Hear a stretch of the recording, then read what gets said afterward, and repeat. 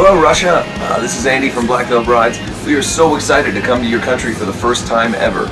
We'll be there in April 2015. We're going to be playing lots of rock and roll shows, and we'll see you there.